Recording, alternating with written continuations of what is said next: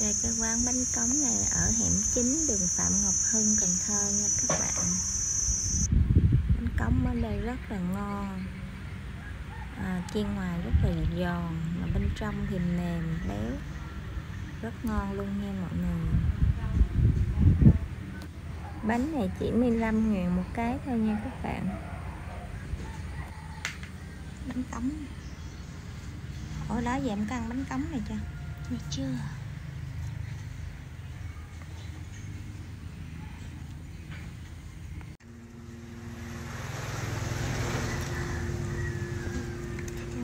Nó chém một miếng ra